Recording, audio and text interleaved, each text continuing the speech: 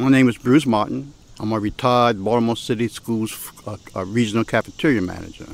Started in 1994. I worked as a food service worker and I worked my way up to management over the years.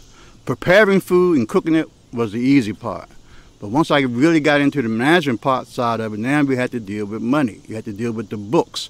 You had to deal with inventory. Uh, you had to deal with uh, the people who sent us our food that we ordered from.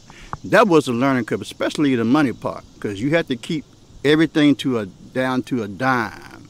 Matter of fact, I remember they had a guy used to go around randomly and come in and check the money in your safe versus what you had on paper. And if it didn't match, he would write it down and send it to your regional. I remember one time I was 10 cents short, and you sent it right to my regional. A couple days later, I found that dime. It had fell out of the bag, and it was stuck in the corner of the safe.